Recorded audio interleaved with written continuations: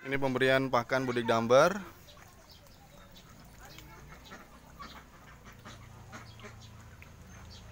Agak banyak dikit.